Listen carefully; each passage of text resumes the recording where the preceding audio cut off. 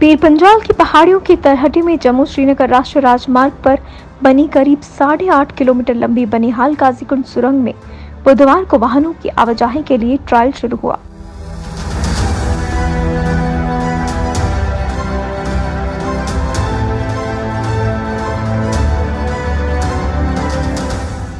इस दौरान करीब दो घंटे तक जम्मू श्रीनगर के बीच आने जाने वाले छोटे वाहनों को सुरंग से गुजरने की अनुमति दी गई।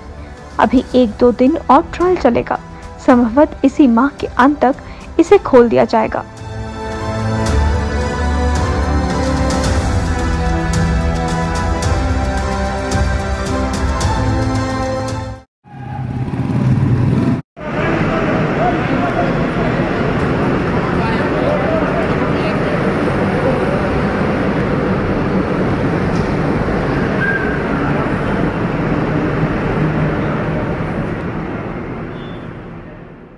बस आज ये एक इनिशिएटिव था आ, मतलब इस टनल को ओपनिंग का।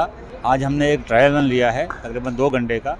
आज इस ट्रायल रन के बाद जो है बहुत जल्द जो है आपको इन्फॉर्मेशन